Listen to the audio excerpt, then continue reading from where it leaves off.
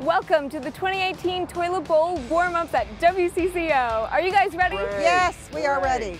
All right, so we have 10 squats, five plunger spins, and then you wrap yourself with this whole roll of toilet paper, and whoever is done first gets a prize. What kind of prize? You'll see at the end.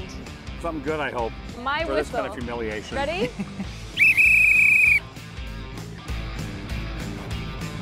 That's not even really a squat. I don't know what you're doing. Like 11 or 12. There we go. You're actually supposed to come all the way up. Oh, sorry.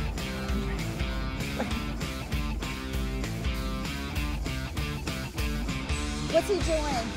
I'm getting dizzy. I'm not seriously. I'm getting dizzy.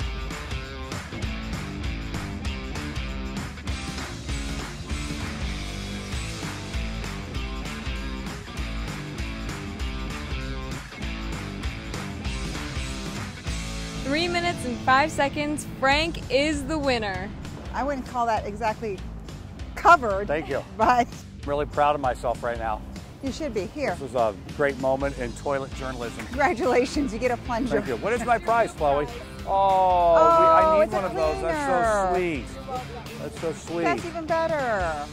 Well, you have to, I think you have to be a fun community if you actually have a toilet bowl race, don't you think? Yeah, so we're looking forward to going to Silver Lake, and it's not far from the Twin Cities, which is also an advantage when you're inviting people to come out and visit and meeting new people out there. Please be on your best behavior. I will. This time I will for sure. We will see you with plungers in hand Thursday and Friday in Silver Lake. Yay, Silver Lake.